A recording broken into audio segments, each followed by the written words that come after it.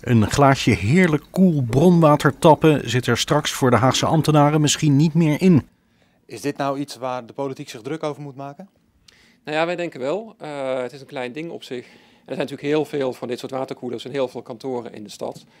Uh, en wij denken dus dat we hiermee uh, gewoon het voorbeeld kunnen geven als gemeente. Dat we minder vervuilend met het milieu omgaan en dat we gewoon gezond en goedkoop leidingwater gaan drinken. De fractieleden van D66 drinken liever een glaasje water uit de kraan. Ze hebben van waterleverancier Dunea geleerd dat kraanwater gezonder is dan bronwater.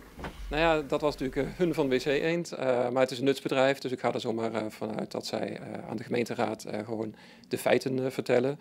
En hun, hun visie is dat het water dat uit de kraan komt, dat het voldoet aan de hoogste kwaliteitseisen.